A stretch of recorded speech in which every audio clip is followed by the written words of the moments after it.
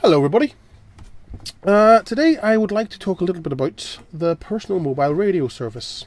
Personal, uh, personal mobile radio service is a very simple European system. It's a set of eight channelized frequencies set aside for license free walkie talkie communication use. Uh, the frequencies are from 440, 446.0 to 446.1. Um, it's a European standard, so it's common across the whole European Union. Uh, half a milliwatt of power, five sorry, half a watt of power, 500 milliwatts.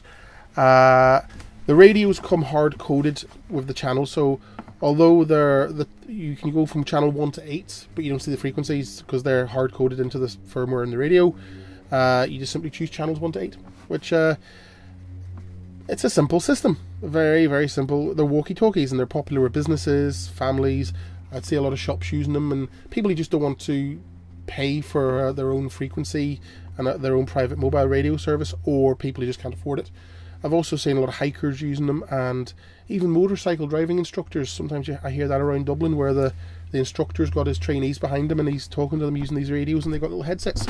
Um, simple system. I've even seen children's branded versions of these. Like I've seen a SpongeBob and Disney versions of these. So I'm sure that makes the business users really happy to hear kids screaming. But it's it's it is what it is. It's a license-free service which was uh, set aside to let people go crazy. Now, to make the system safe, all the equipment sold for use on the service has to be type approved, and type approved basically means lockdown to all intents and purposes. So, like I said, you can't see the frequency. There's no frequencies available to you. You just have channels one to eight. So if I switch this on, it starts on channel eight and four. This is a weird radio, but I it. Uh, how do I select the channel? Oh. Seven. Let's see. I might actually have to come back and. Oh, calling. I actually forget how this works. That's scam. Never mind. I'll come back to this anyway once I've actually read the manual. But anyway, you got eight channels. Uh, each channel uh, is locked to a frequency set. No, this that's been defined by the European Union, and you buy the radio for anything from 20 quid upwards. There's these are cheap versions, which were 20, 30 euros, and you can pay up to 100 for like a ruggedized business version. Uh, now the thing is, because they're type approved, the antennas can't be changed. They're bolted in. Uh, there is a derogation available in the legislation to allow certain countries to introduce removable antennas, and the UK is the only country that's done that so far. And I'm assuming that's because, like in the big cities, you know, these little rubber ducky antennas is would struggle with to even get down the street with all the big buildings you get in like the likes of London or Birmingham or Glasgow. So that's but the antennas that they the replacement antennas also have to be type approved, so you can't just build your own antenna. so yeah, it's a simple system. In the states, you might know it as the family radio service, and the family radio service is virtually identical except for the frequencies it operates on. Uh, and also, it has 14 channels instead of 8. But the family radio service operates from 462 to 467 megahertz. Uh, also, half a watt of power on each frequency, and like to be honest with you, these these radios here and the family radio service radios probably come off the same production lines in the Far East. The difference is different firmware with different frequencies built into them. That's probably the only difference. So, um, very similar systems. But anyway, what I want to talk about is how to improve the reception performance of these radios. Uh, a byproduct of this, it would also improve the transmission performance, but you don't want to go there because that would be illegal. So, like I say, how you use inf- information is up to you, and if you choose to misuse it, then be it on your own back. Uh, to start with, I'm going to talk a bit about some radio theory. I'll keep it quick. Uh, the rubber ducky antennas in these radios are compromise antennas in that uh, they exist to allow the antennas to be smaller. The by, but the trade-off is that you get reduced output power. So if you think back to my videos, a video a few months back about standing wave ratio, and I must apologise for the noise. There's a bit of a storm brewing outside. But if you catch your mind back to that video, I was talking about how when you transmit on a specific frequency, there is a sweet spot antenna size for that frequency where the most amount of energy you're putting into that antenna gets dissipated into the environment. Uh, and and if you want to uh, use a smaller antenna for the frequency you're on, you have to use either an antenna matching unit, which is an antenna tuner unit, tuner unit, or modify the antenna in some way. One of the ways you can modify the antenna is by putting in a choke or inductor in line. And what that basically does is it allows the antenna to be used on a lower, a smaller antenna to be used on a lower frequency because generally the lower the frequency, the bigger the antenna. Now in these cases, these radios are UHF radios, so if you wanted uh, a straight monopole, which is like a whip antenna, the sort of antenna you would see on a FM receiver radio, like broadcast radio, it would need to be about 30 centimeters long, which would be impractical. So you'd either have to keep putting it up and down every time you wanted to use it or put it in your pocket and it would get broken eventually. It wouldn't be very durable. And in the case of uh, VHF, which is down, right, down around 140 to 160 megahertz, it would have to be a meter long. And those VHF is more desirable for business radio users because it's better range. So sometime in the 60s, I believe, uh, Motorola came up with the concept of the rubber ducky. So what it does is basically means um, the, the, it's just an inductor, and the way it works. Trying to work a good way of trying to explain this to you simply. So basically, if you are using an antenna that's too small for the frequency you're on, what will happen is the energy will go into the antenna, but it will literally bounce back into the radio, and that could potentially damage the radio. But it'll also hit the the next frequencies coming through, if you know what I mean, and distort the signal. So you'll either get damage to the radio or a distorted signal. So what an inductor does is effectively dissipates the excess energy as heat. But then some of the radio frequency signals do get out.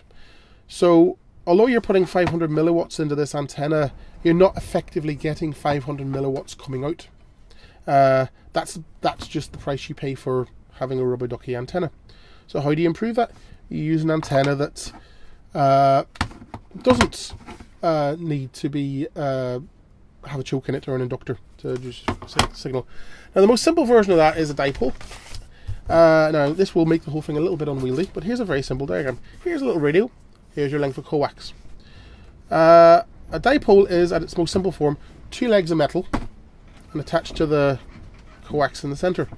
So I've got two legs, 100 and, 161 millimeters long, because uh, the ideal length for a uh, dipole is achieved using this formula. So this is metric. I'll put a link to the, the imperial version in the description.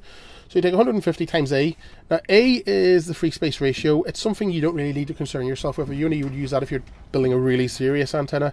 For I just use 0.96. The free space ratio is basically trying to take into account how thick the antenna wire is uh, because that affects how the energy dissipates. But we're just going to go 0.96 as a default, and then you divide that by the frequency of megahertz. So in the case of the, the PMR, I'm going to take free channel number four, which is 446.14375 as a sort of median point. So 150 divided by times 0.96 is 144 divided by 446 and you end up with 32.227. Divide that by 2 to get the length of each leg of your dipole. End up with 1.0.161 meters or 161 millimeters. Simple. So these two legs are 161 millimeters and I'm connecting them into a chocolate blocks type antenna uh, connector which are one of these two doohickeys here and and we're going to screw it onto a piece of wood. And then you hold the antenna you would hold it up vertically so you wouldn't have the legs like like this you'd have them like that. So because the system is vertically polarized. Uh, I'll put I'll put up a uh, if you want to do this for some other kind of radio reception I will um, put a link in the description. And also for the imperial measurements. There's, a, there's some really good online calculators to do the sums for you on this, so I'll link to them in the description. So, what do you need to do this? Right, first of all, get a piece of wood. Any kind of piece of wood will do. Uh, for the antenna itself, uh, I'm actually using an old wire coat hanger. Um, this is steel. If you can get copper or aluminium, even better, because copper and aluminium is actually a much better conductor of electricity. I would assume steel is. Steel's good, steel works, but ideally copper and aluminium is better. Uh, tools, what you need the chocolate blocks, you need some uh, ply, a good pair of pliers, um, wire strippers, side cutters, wood screw. We're going to be soldering. You will need uh, one of these BNC plug type things here. which uh, I will be fitting to the radio. Um, a little bit of solid core wire, you don't need much. Uh, your soldering iron, your solder. Uh, what else do I need? Um, a multimeter is handle, handy for continuity testing. Oh yes. Um, now, to connect the antenna to the radio, you could just get a piece of coax. I'd recommend RG8X and stick your own BNC plug on. I'm cheating. This is actually, um, I got this from Maplins, and this is actually uh, an oscilloscope probe. But that's perfect because I've got the two ends here, and that's just what I need. It's all ready to go, and it's nice and neat. I don't have to go through the hassle of fitting a BNC plug because, trust me, fitting BNC plugs is not a pleasant experience. Oh, also, uh, a circular file might come in handy for tidying things up, and a good sharp knife, Mr. Stanley knife, or even called box cutters across the across the way. So let's get started. As I try to tidy up here. The first thing I'll do is I'll just I only need two of these. So I'll just uh, put down and I put that to one side. My daughter's watches a video called um, Cookie Swirl C. It's basically a lady who tests toys in the most annoying fashion imaginable. She sings and she screeches, and oh, kids love her, and she's got like four and a half billion views. And I'm just like, how does she do it? It's crazy. Right, so let's open it up. Now the first thing to remember is if you are, if this is a rechargeable radio, you might have some, instead of sort of regular batteries, you might have some dangling terminals here. So try to remember where they are in relation to the unit, because if you put them in the wrong, back in the wrong way, they might get the polarity wrong. Pardon me. You find that the wires tend to sort of just drop out of these things. Uh, tease out the antenna, and let's see. There's the unit. There's the the ducky Hmm, it's actually copper. Genuinely surprised by that. Oh, it's soldered on. Ah, that's the first time I've seen that. So, I'm not going to take this apart too much because I don't want to have the hassle of soldering back too much. I think I might need some solder wick. So, basically what, what we need to do is... Uh, we're to take the two, uh, the bit of wire here. Sorry. I'm going to take this BNC socket. We're going to leave it here. Now you'll find that it actually fits in quite nicely. Although there will be a bit of cutting required because there's some notches here and the likes. Uh, and I'm going to fit that there. And I'm going to attach one, the center pin of this to where this antenna is attached here. And I'm going to attach the outer pin to a, a ground plane on this board somewhere, which I'm going to use the multimeter to find out where it is. So the first thing I need to do is remove that antenna. So I'm going to need my solder wick. Well, on closer inspection I've discovered there appears to be some kind of epoxy holding this down. They're getting serious. So that kind of makes me um, wonder about how I'm going to attach this on. So you know what I'm going to do? I'm just going to snip it. Because uh, the solder was melting, but it wasn't being picked up by the wick. I was losing my head there. So turns out, yep, there's some kind of very thin layer of epoxy. And I don't want to snap it off because I might snap the copper trace off the board. And that would be bad. So what I'm going to do is I'm going to snip it here.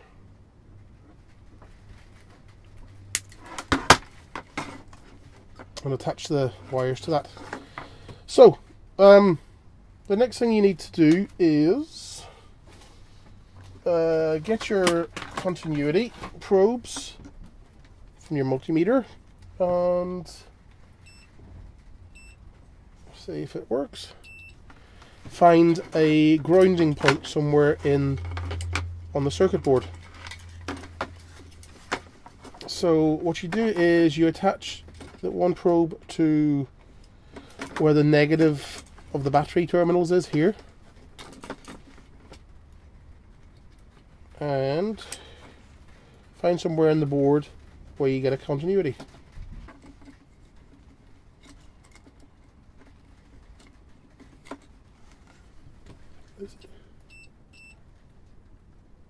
As you can see here, there, this uh, cover has grounding. Now the question is, will it take solder? Uh, let's see, what is that? Well, there's solder on it here, so yeah, it takes solder. So, before we continue, I would like to fit the BNC socket.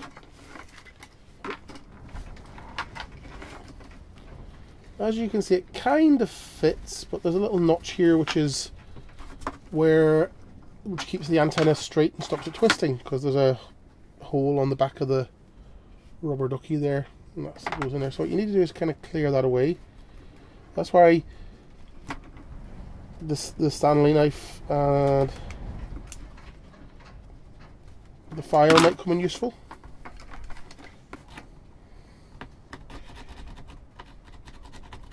That fits nicely now. I'm going to do the same on the other side. Perfect. So, let's see how this all fits together. I'll be as careful as possible not to do any damage because they do have a tend tendency to throw it all together and in a way that's never going to be changed again. I don't have the buttons in, but that doesn't really matter because it should just fit nicely. So, oh look at that. Now there is a bit of a, a lean as I put it in. But I'm not too worried because I can just epoxy this in even though it's loose. It's hitting against the antenna. So if I just pull that back, see what I can do.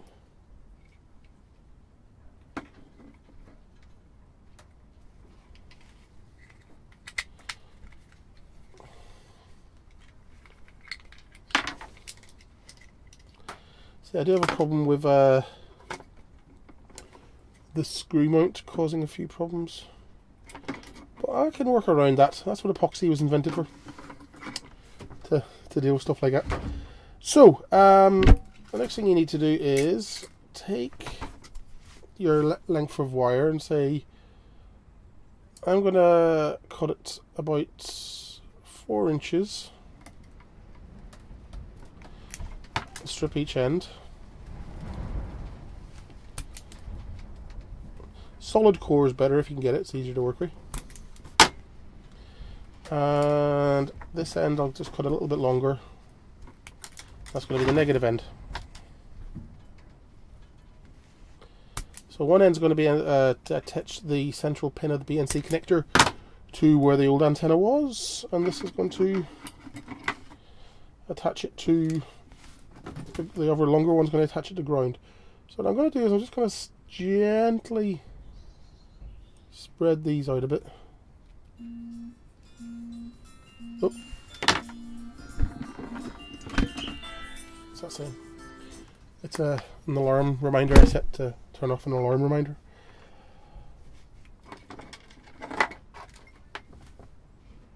So, the way this works is for the, the center pin, can actually trim that a bit more. You generally just shove it in the hole. Take your pliers and just press down as hard as you can. And sometimes that's not good enough.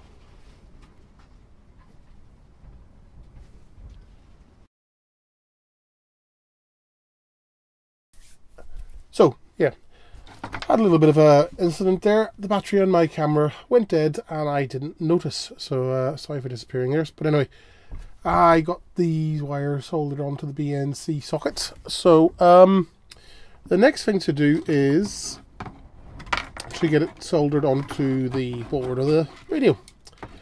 So, uh, trying to figure out the best way of doing this. So this goes in here like that.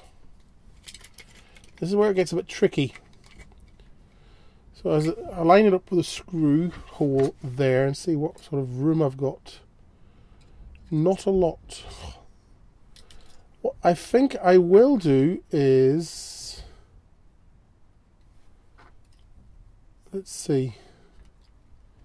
You know something, I'm looking at this now and going, I could have just soldered that straight on there. Actually, no, I couldn't. Focus. The positive pin is quite close. The center pin is quite close to the the old antenna. Um,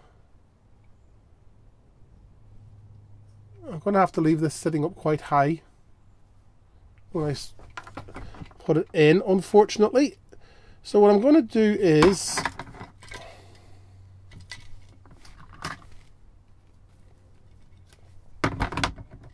trim this down a little bit more, just a little bit. I don't want any stray wires coming into contact with it.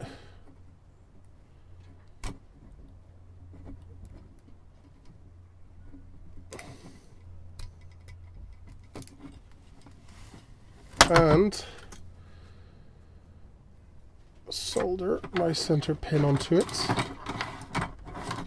Hmm. So I've done is I've just twisted that around there so it's uh, not going to fall off. Let the soldering iron warm up while I have a cup of coffee. Ah, nice coffee. Where's my solder?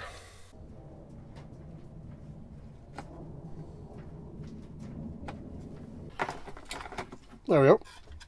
Oh, unfortunately, I've managed to cause the speaker to come off. So I am, sorry, the speaker to disconnect, which is unfortunate. But uh, uh what can you do? Um, so next thing I need to do is solder the outer, the the sleeve of the BNC port to this place. This uh pad which I tested earlier for negativeness, groundedness. So I want to fold that in there like that. I want this to be nice, as neat as I can get it. And I might, uh, and I also would, uh, I want to leave enough room and enough length so that I can open this up and work on it without too much trouble. Because if I cut it nice and short, yes, it'll be neat and tidy, but it'll be impossible to work with.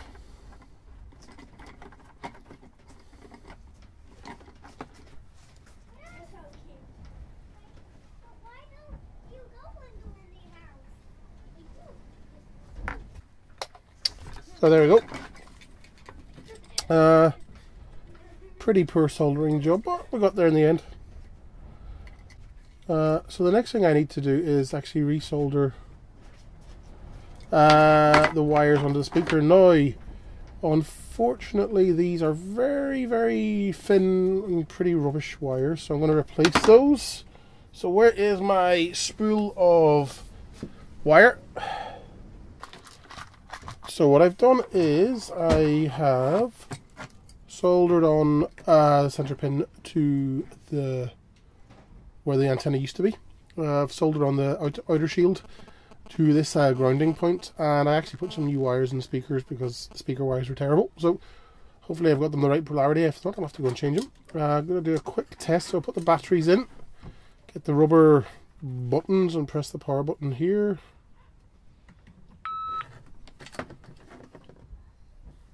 Yep, looking good. It switches on, it makes a sound. Excellent. So what I'll do is I will take the batteries out and then start reassembling this as best I can. I might have to use the super glue. Oh, oh I've lost the battery. Uh, so, let's see how we're going to do this.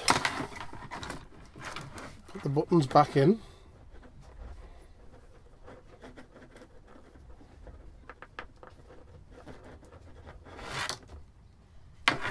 Should go in easier than this.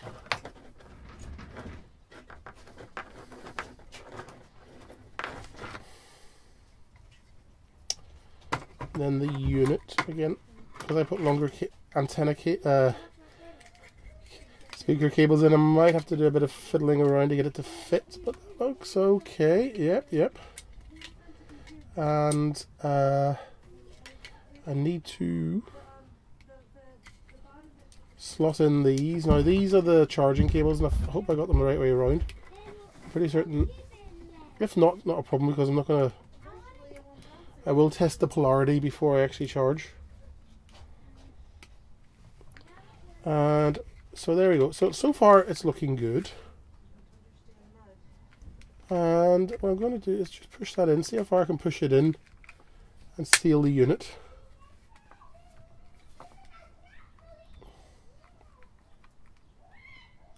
Hmm.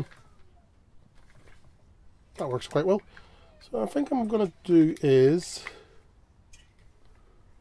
twist that around. I don't want the risk of the wrong thing touching, so I might have to twist this around so that the center pin faces the antenna port. So that's the negative. I had it the right way around. Oops. That's better. So buttons are in. That's in. The center pin is facing the antenna side here. Put the lid on. charging ports are in. Sorry, charging contacts. Oh, one thing I did forget was the button.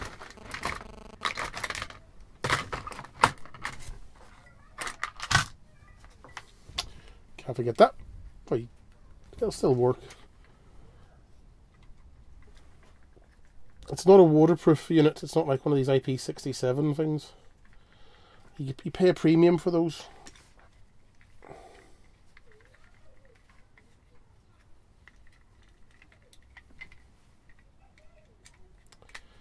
carefully put it all together. Oh, that's what's holding it up.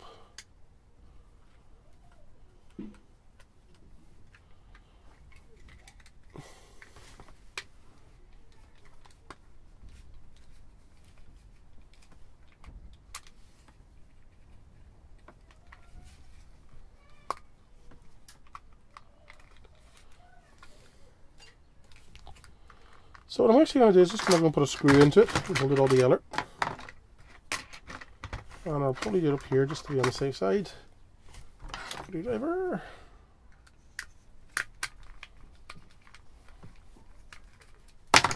Better screwdriver.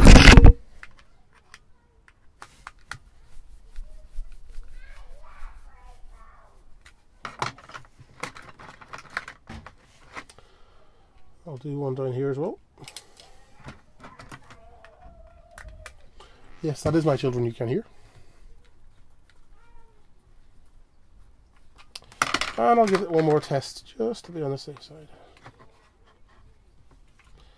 You should always keep checking and testing. Like I didn't do enough uh, continuity testing in terms of contact wires getting in touch with each other, but um, you should.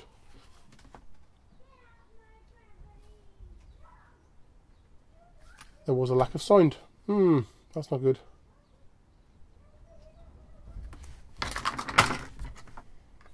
Let me have a look. I have sneaking suspicion I may have snapped one of the audio leads. Well, they're both attached there. Ah, there we go. Might need to put a little bit more solder on that. Unfortunately, they got the the solders, the solder pads are on the wrong side from the speaker. But I'm sure there's a man. That's probably why they use the really thin cabling because it was easy to fold round. Okay, fixed it. Test it. That's better. So we have sound now. Uh, put our button in. And carefully put it back together again. Which, as we all know, in this world is always easier said than done.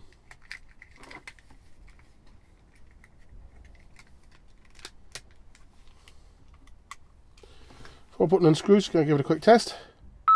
Sound. Yay. Sound is good. screws.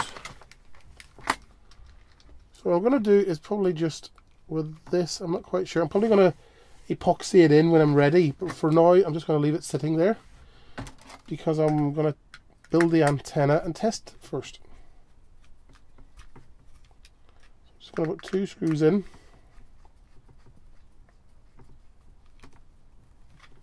For now. Hmm.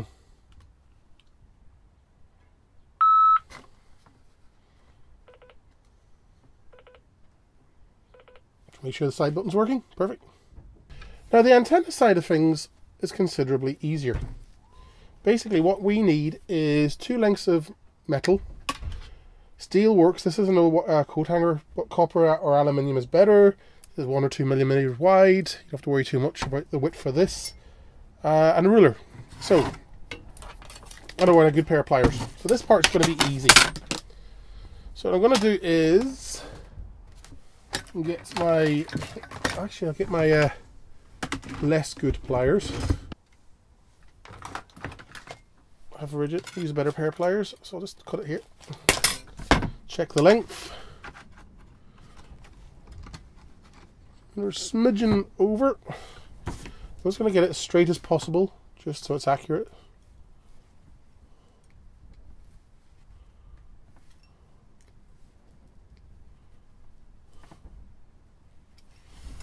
See what we have.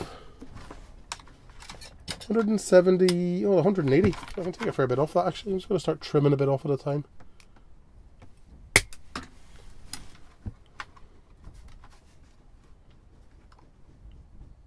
171 exactly. Bang on. So now I'm going to get another one. Another length of wire. And uh, pretty much do the same thing. But I'm going to use the first one as a template. So I need to get it as straight as possible.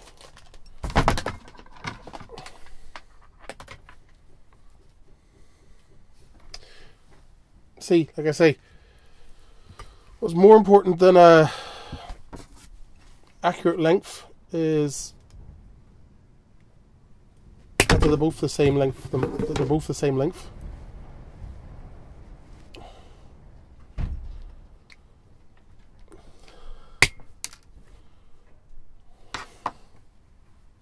Bang on. So, that's it. That's all you need. There's not a lot to it really. So what we need to do is bend a centimetre back at a right angle. So I'm going to eyeball it here and just go like that. That's about right. And the same with this one.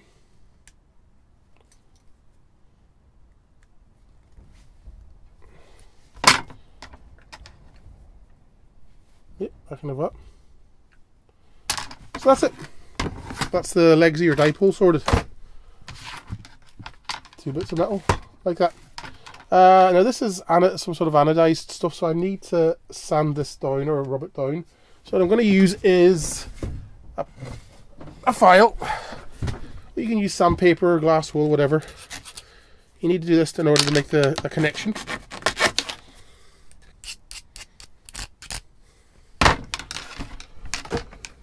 Okay, and uh, there they are, two ends filed down, so we got bare metal. Um, get your chocolate block connector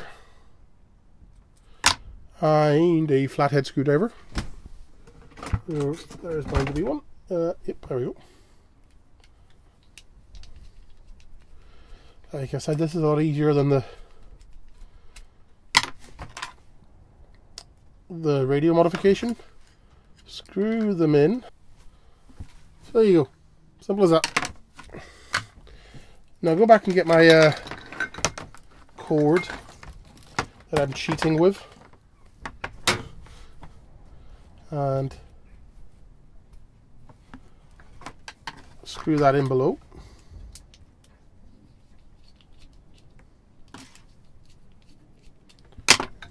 You actually might find that using a smaller chocolate block connect connector might help you because they do come in various sizes. This is rated for 30 amps, so the size is kind of rated to their current. So like a 10 amp one would be smaller uh, and might be easier to work with. It's up to you. Like I say, this is a very inexact project. No, there's nothing. We're dealing with 5 watts of power. It's not going to, sorry, 0.5 watts of power is not going to really do a huge amount of damage. Uh, I will check continuity on this. So I need to get the meter in. Switch it on, go to continuity. So, want to make sure the outer shell is continuity there. Yep, but not here. Continuity. And stick the pin in the middle to check continuity with the but not with here. Good. Because if you've got stray wires touching, that will break the whole, cause the whole thing to fail. Um, piece of wood. Where are you? Now, there's a bit of argument whether the you should mount it vertically or horizontally. I am going to go with vertically just to be on the safe side. Now, the beauty of this, the wood won't have much of an effect on the antenna's performance, so it would only really be an issue if there was metal in there or something like that there. So I've got to get put the screw in there, and I need a dirty old woodworking screwdriver. So I'll just leave it halfway screwed in so I can do some testing. Um, so yeah, we're almost done. Uh, where's the radio? Here it is. Because it's not properly screwed in, I'm just going to be very careful. Not sorry, glued in here, so I'm just going to be very careful to attach it. And uh, switch her on. Now this is Sunday in Dublin, so you're not going to get very much.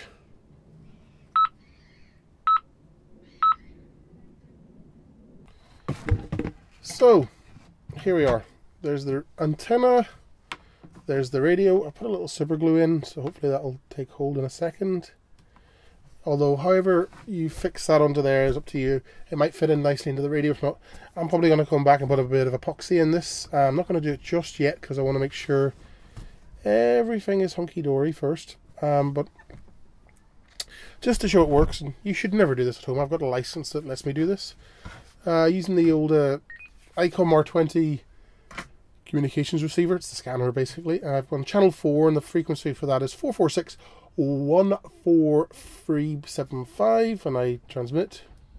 There we go. And I can put on to the, the calling tone. So it I think someone's giving off to me there. So what we have here is an antenna that will dissipate the full half milliwatt of power that this thing generates. The rubber duck antenna, you lose some of that power because the rubber duck is a compromised antenna.